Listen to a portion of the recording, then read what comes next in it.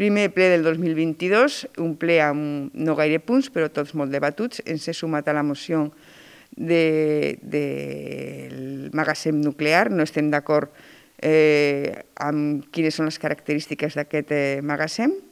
No estem d'acord amb, amb els materials, tal com es diu a MAC, per tant ens hem sumat, donat que seran uns residus que tindrem al nostre municipi durant molt de temps.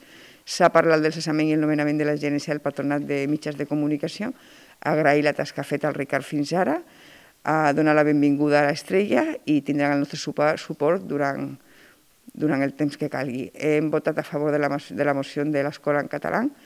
Eh, cal recordar d'on han vingut el debat i cal recordar també que la inversió lingüística no neix de fa 10 anys, sinó de fa molt de temps.